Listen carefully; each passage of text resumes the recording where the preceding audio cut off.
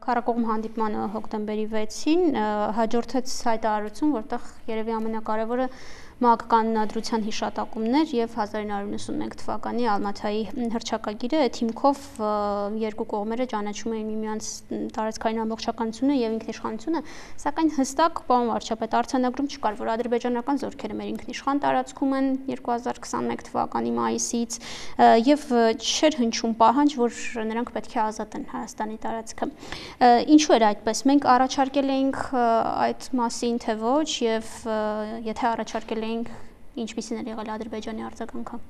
Ну, նախ ասեմ, որ մենք բոլոր միջազգային հանդիպումներում մենք այդ արձանագրումը անում ենք, որ մեր տարածքի մի մասը օկուպացված է եւ ադրբեջանական զորքերը պետք է դուրս բերվեն Հայաստանի Հանրապետության տարածքից այլ բան թե ինչքանով է այն ձևակերպումները, որոնք որոնք պիտի արտահայտեն մեր այս մոտեցումը, ինչքանով են արտահայտվում, որովհետև հայտարարությունները միակողմանի չեն, այլ երբ որ մի քանի կողմ կամ առնվազն երկու կողմ կա հայտարարությունների տեքստի վրա աշխատող, այդտեղ պետք է որոշակի նաև ճկունություն ցուցաբերել։ Հիմա այս խնդիրը ձեր հարցի մեջ պատասխանը կա որովհետև եթե մենք փոխադարձաբար ընդունում ենք 1991 թվականի սահմանը, դրանով իսկ ֆիքսվում է արդեն, որ Ադրբեջանը օկուպացրել է մեր տարածքները, որովհետև 1991 թվականի սահմանը շատ կարևոր է արձանագրել։ Ինքը տեսական մի երևույթ չէ։ Ամբողջ աշխարհը գիտի, ամբողջ աշխարհը գիտի, թե որտեղով է անցնում այդ սահմանը, դրանք խորհրդային միության ադմինիստրատիվ սահմաններն են, որոնք բոլորին հայտնի են, հանրահայտ են, եւ այդ փաստի բերումով արձանագրվում է, որ Ադրբեջանը օկուպացրել է մեր տարածքները եւ եթե ճանաչում է, իսկ արձանագրվել է որ ճանաչումը պետքա դուրս գա այդ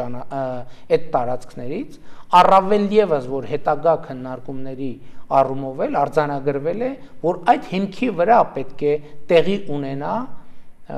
սահմանների դելիմիտացիա այսինքն ձեր ասածը արձանագրված է արձանագրված է դիվանագիտական բառապաշարով դիվանագիտական հնարավորինս, այսպես ասած, ճկուն բառապաշարով, բայց դա արձանագրված է։ Բայց կատարված չէ։ Բայց կատարված չէ, այո, բայց ամենակարևորը միջազգային այդպիսի հեղինակավոր ֆորմատում դա արձանագրելն է եւ շարունակել աշխատանքը դա կյանքի կոչելու համար։ Եվ իմիջայլոց Պրագայում հենց այս համատեքստում տեղի ունեցավ Եվրամիության դիտորդական առաքելության գործողման որոշումը որտեղ որ հատվածներում պետք է Չէ, տեսեք, եթե եթե սահմանի գոյություն չֆիքսվեր ոչ Եվրամիության եւ ոչ ոչ էլ որևէ այլ դիտորդական առաքելություն չէր կարող գալ, որովհետեւ գար ինչը տեսներ, եթե པարս չի, թե որտեղ է սահմանը։ Երբ որ པարզ է, թե որտեղ է սահմանը, Այդ դեպքում արդեն այդ դիտորդական առաքելությունը ունի։ Եվ ինչ այլոց ուզում եմ ասել, որ եթե ոչ եթե ոչ Պրագայի, որովհետև կարող են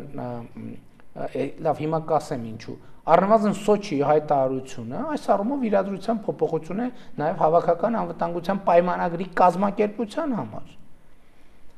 որովհետև Պրագայի պարագայում ճիշտ է չնայած երկու երկու կողմերը Պրագայում էլ Ալմաթի Ալմաթի հրճակագրի հիման վրա փոխադարձաբար սահմանները ճանաչելու արձանագրում էին արել, արել են, այսինքն, բայց հապկը կարող էր ասել, որ նույնիսկ դա մեր ֆորմատը չէ կամ չգիտեմ, հիմա Սոչիի ֆորմատում էլ այդ արձանագրումը արվել։ Եվ ֆիքսվել է